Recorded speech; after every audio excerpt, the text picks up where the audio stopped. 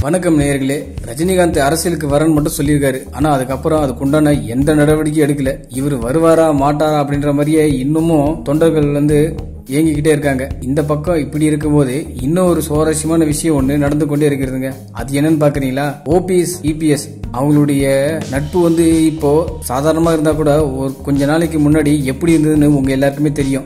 ஜெயலலிதா இருந்ததுக்கு அப்புறம் அவங்களுடைய கட்சியோட நிலைமை எந்த நிலைமைக்கு போச்சுன்னு உங்களுக்கு எல்லாருக்குமே தெரியும்.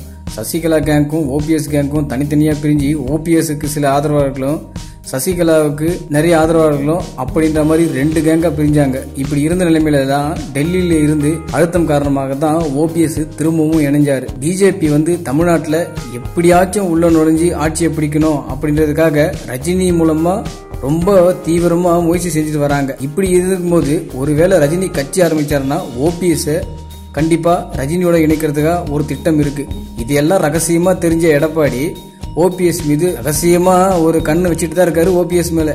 இது எதுக்குன்னா இவர் திடீர்னு சாஞ்சா கூட நாளைக்கு இந்த கேஸை வச்சு இவரை மூவ் பண்ணலாம் அப்படின்ற மாதிரி அவரும் ரகசியமாக கண்காணிச்சுட்டு அவர் ஓபிஎஸ் இந்த அழுத்தம் காரணமாக தான் திரும்பவும் ஓபிஎஸ் வந்து சமீபத்தில் டெல்லிக்கு போயிட்டு வந்தார். தனது ஆதரவாளர்களோட. தற்போது டெல்லியிலிருந்து ஒரு கிரீன் சிக்னல் வந்தால் போதும். உடனே ஓபிஎஸ் ரஜினிக்கு ஆதரவு தெரிவித்து ரஜினி கட்சி ஆரம்பிக்கும் போது ஒரு தமிழ்நாட்டில் பூகமே வெடிக்கும். பொறுத்திருந்து பார்ப்போம் ரஜினி கட்சி ஆரம்பிக்கும் போது தமிழ்நாடு எப்படி களை கட்டப் போகிறது என்று.